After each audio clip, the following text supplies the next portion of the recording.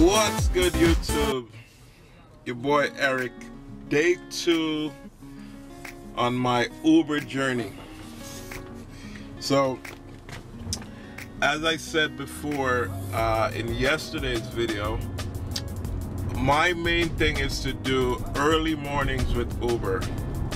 Um, so get out there early, 5:30 in the morning. Hopefully, get an airport run and call it a day.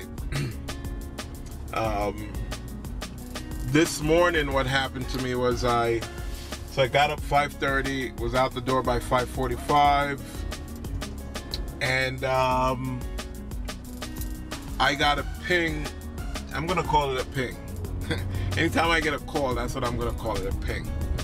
So I got a ping at like um, at maybe about 10 minutes to six for a pickup uh, that was like um, that was like about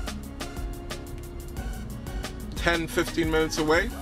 So I went knocked that out. Right as I dropped that guy off actually while that guy was in the car another another call came in. But again because I am brand new to this like I didn't know what to do. So I ignored it um, because in my head I was thinking, is this like a pool ride situation?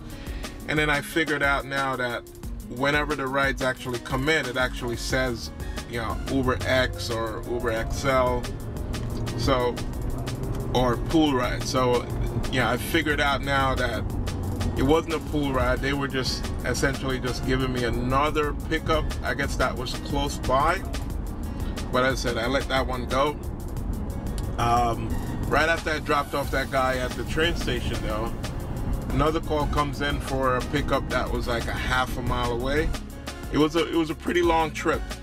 So that one was uh, twenty-four dollars, twenty-four dollars and change. The first one was only like five dollars, and the twenty-four dollar one actually gave me a tip, a five dollar tip, uh, cash tip. So that was awesome. Um, very cool guy.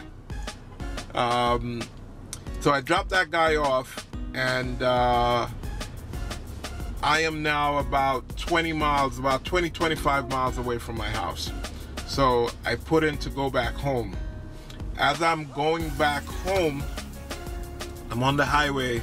I got another ping to pick up someone, and it worked out perfectly because as soon as I accepted that ride, like I was already within i was like uh, less than a mile away. So the, the gps said yeah take the next exit which was like a quarter mile away. So, so i jumped off the jumped off the highway right away and right there i was picking up someone at uh, westchester medical center.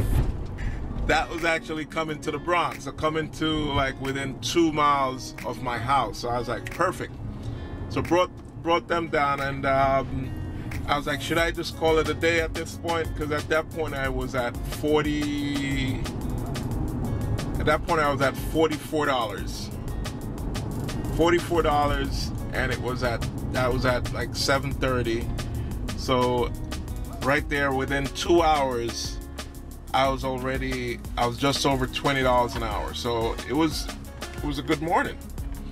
So I did then I decided, you know what, I'm gonna go back into the area and see if I could get one more ride. And I go to the bank while I'm at it, uh, run an errand. So went to the bank, um, got another ping, dropped him off, and um, and now I'm headed home.